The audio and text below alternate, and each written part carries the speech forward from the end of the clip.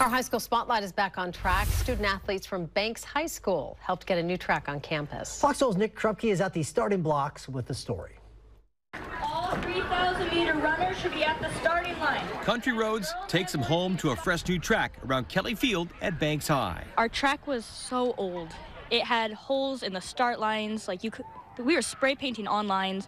It was just really a mess to run. It was kind of embarrassing to have teams come to our track. What was and what is. It's nice to know that's ours, and it's kind of it's a good feeling to have pride in our own track. Dream and achieve. We wanted a good track. We didn't know how to get it. Um, it was really hard to raise money, so we just it was all student led.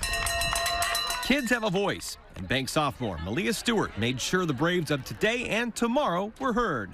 Final call for girls and boys 3,000 meter runners. You I got some fellow teammates and friends together who are really passionate about track. I don't believe there's a stronger community than the Banks track team. It's the realest thing I've seen to a family in sports. We made a video to send her to be like, hey, um, could you please donate to us? We really need it.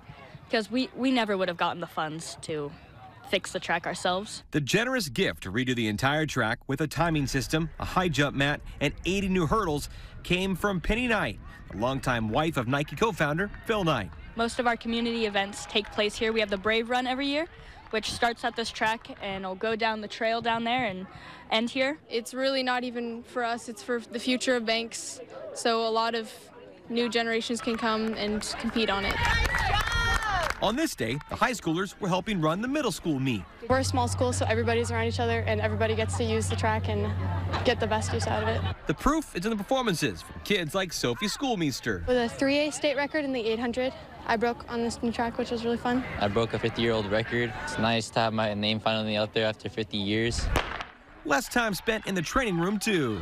Well, there's the physical aspect, of course. Like, shin splints has always been a problem. Like, this track has previously been rock solid, um, and now having this nice, soft material, it's a lot better for our bodies, uh, but also just pride in our school and pride in our community. Go, Freddie!